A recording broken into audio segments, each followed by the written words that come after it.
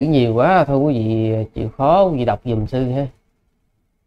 À, dạ giúp con xúc duyên thọ những ái duyên thủ đều có thắc mắc như sau. Tiến trình tâm này đúng với trường hợp tâm xúc với những ngoài cảnh cách qua như ngọn núi tiếng chim hót.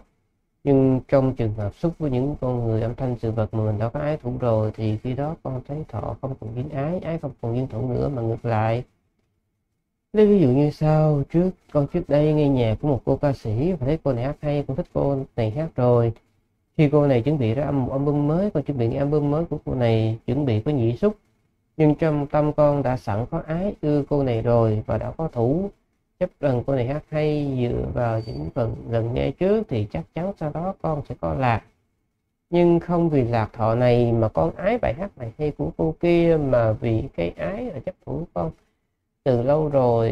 À, thôi thôi nói chung là quý vị hiểu sai cái cái cái phần 12 duyên khởi ha. Nói như thế này. Cái ờ, cái tâm của chúng ta đó nó là một loạt cái tâm sanh diệt. Trong một cái khẩy móng tay đó nó sanh diệt vô số lần. Khi mà các cái uh, xúc á, nó duyên cho thọ, có nghĩa là sao? Khi mà các cái giác quan của chúng ta tiếp xúc với cái cảnh ở bên ngoài, thì nó sẽ có cảm thọ. Dễ chịu hay khó chịu? Các giác quan đó bao gồm cả cái ý thức, có nghĩa là khi chúng ta nghĩ về một người nào đó, thì cái việc cái cái cái đầu của chúng ta, cái bộ não của chúng ta đó. Và cái đối tượng của bộ não, cái tâm của chúng ta đó là gì? Về cái đối tượng mà chúng ta yêu thích. Thì bản thân hai cái đó đó là căn và cảnh. Hai anh đó, anh tiếp xúc với nhau. Nó sẽ sinh ra xúc. Cho nên, chỉ riêng cái việc mà chúng ta nghĩ về cái người giả sử như cái thần người ca sĩ đi. Bản thân chúng ta vừa nghĩ đến cái tên người ca sĩ thì xúc nó đã có mặt rồi dễ chịu hoặc khó chịu. Và khi cái cái thọ nó có mặt như vậy đó, cái ái nó sanh. Tại vì cái thọ là cái thọ dễ chịu mà, thọ lạc mà, ái nó sanh. Và khi ái nó sanh như vậy thì chúng ta dính mắc vào trong đó. Và đó là ái sanh thủ. Thủ sanh hữu có nghĩa là sao? Chúng ta vì cái sự dính mắc đó, chúng ta tạo các cái hành động nghiệp đó là như thế nào khi chúng ta nghĩ đến tên của của cái cô ca sĩ đó Đấy. thì nó sanh ái ái sanh thủ, thì chúng ta bắt đầu là ra cái quyết định đó là chúng ta mua cái album của cái cô ca sĩ thì khi chúng ta mua album cô ca sĩ đó, thì đó đó là mắt nhìn mắt một loạt cái tâm xảy ra chứ chứ không phải là chúng ta chỉ đơn giản là một mắt nhìn tới hình ảnh cái cuốn album. Sanh ái. À, thọ ha thọ thọ sanh ái ái sanh thủ khi chúng ta nhìn thấy chúng ta ưa thích rồi chúng ta quyết định chúng ta mua. Cầm đến nói trong tay xúc sanh thọ thọ sanh ái ái sanh thủ thủ sanh hữu hữu bỏ cái đó vào chúng ta nghe nghe âm thanh, xúc sanh thọ thọ sanh ái ái sanh thủ thủ sanh hữu chứ không phải là chúng ta có cái ái từ trước, cái ái từ trước đó không phải. Có người khi chúng ta, khi chúng ta nghĩ đến tên của một người nào đó thì đó bản thân đã là xúc sanh thọ thọ sanh ái ái sanh thủ rồi. Ừ. Chứ không phải là chúng ta cứ cứ nghĩ là cái cái cái kiểu nó kéo dài, không phải cái tâm sanh diệt liên tục thư gì nó sanh diệt liên tục. Trong một cái khẩy móng tay có vô số tâm sanh diệt. Tâm sanh diệt nhanh lắm. Mà trong mỗi một cái tâm như, trong mỗi một cái cái sự sanh diệt như vậy đó, là đã có thọ, ái, thủ, đủ rồi.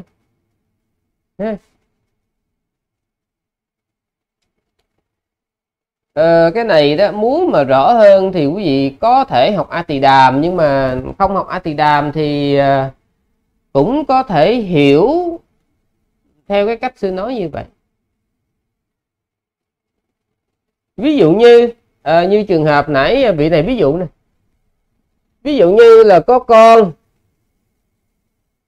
khi mà nghe tới cái tiếng bước chân á nghe tiếng bước chân xin thưa nghe tiếng bước chân là đã xúc sanh thọ thọ sanh ái ái sanh thủ thủ sanh hữu rồi. Bởi vì khi cái hữu là cái gì cái chuyện chúng ta nhíu mày. Và chúng ta liên tưởng đến cái tên, cái cái người, cái chủ nhân của tiếng bước chân đó. Ví dụ như là anh chồng của mình. Khi chúng ta nghĩ đến cái tên của anh chồng của mình ở trong đầu á, thì cái tâm của mình nó đã bắt nó, nó đã bắt với cái tên cái tên gọi anh chồng rồi cái hình ảnh của anh chồng rồi bắt ở trong tâm á lai thằng hai cái anh đó ảnh gặp nhau ảnh sanh ra cái cảm xúc cái cảm thọ là khó chịu và khi cái cảm thọ nó sanh khởi thì nó sanh ái thọ sanh ái ái sanh thủ vào dính mắt dính mắt vào dính mắt vào cái hình ảnh của anh chồng chứ phải mà cái tiếng đó cái tiếng đó là cái tiếng của uh, uh, tiếng của em ruột mình hay là tiếng của uh, bà mẹ ruột của mình hay là tiếng của ai đó thì mình đâu có nghĩ cái gì. Nhưng mà vì mình nghĩ đến cái anh chồng. Đấy, ừ, bắt đầu dính mắt cái là anh chồng. Rồi ừ, thủ sinh hữu. Chúng ta bắt đầu là nghĩ một loạt cái tâm nghĩ đến cái chuyện là chồng ổng giờ này cũng về trễ ha rồi bắt đầu ông say rượu rồi lè nhè ha. Rồi không biết trong người ổng ở ngoài cái mùi rượu còn cái mùi lạ gì nữa hay không ha. Thì một loạt cái đó, đó là một loạt cái xúc sinh thọ thọ sinh ái ái sinh thủ thủ sinh hữu. Một loạt ở trong đó. Chứ không phải là uh, gọi là chứ không phải là cái khổ thọ có là quý vị có sẵn cái khổ đâu không phải? Không phải không phải là quý vị có sẵn cái khổ. Cái mà quý vị gọi là có sẵn cái khổ đó đó là như thế này. Là khi mà quý vị à, đang vị đang nằm đi đang nằm với đứa con đang nằm với đứa con nghĩ về anh chồng nghĩ về anh chồng là tự nhiên là một loạt một loạt những cái xúc sanh thọ tự nhiên là quý vị cảm thấy thọ khổ. Đó là như vậy. Có nghĩa là chúng ta nghĩ về các cái ký ức của quá khứ và chúng ta cảm thấy chúng ta đau khổ vì chuyện đó. Đấy. Ờ,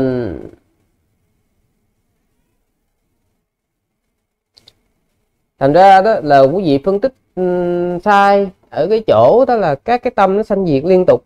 Nó đi nó đi từ những cái nhỏ nhặt ví dụ như là nghe cái nghĩ về người nào đó nghe tiếng của người đó liên tưởng đến người đó suy nghĩ về người đó phân tích về người đó.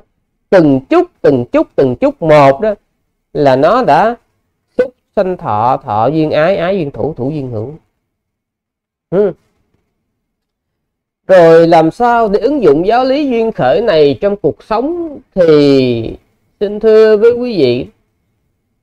Cái giáo lý duyên khởi là cái giáo lý để con người ta tu tập đi đến con đường giải thoát. Cái giáo lý duyên khởi là cái giáo lý mà người ta tu tập để đi đến con đường ly dục đi, đi đến con đường xuất gia đi đến con đường cách ái đi đến con người đường giác ngộ mà quý vị đòi nó ứng dụng trong cuộc sống thì xin hỏi quý vị ứng dụng cái kiểu gì?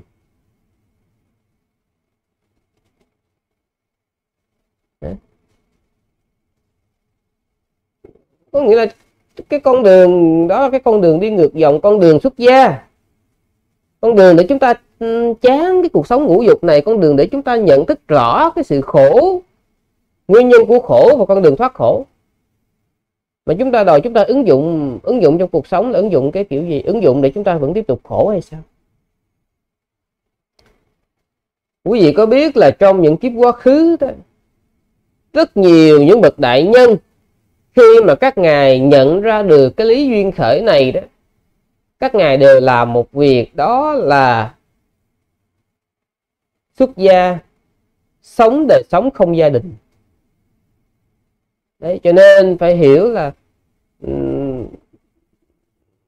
cái lý 12 duyên khởi này là cái giáo lý để mà nhận rõ được bản chất của đời sống, để từ đó con người đó đi đến con đường xuất gia ly dục.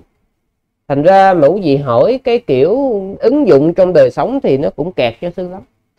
Phải hỏi là ứng dụng trong đời sống xuất gia như thế nào thì còn xài được, chứ còn ứng dụng để mà đời sống tại gia để tiếp tục khổ thì chịu thua ha.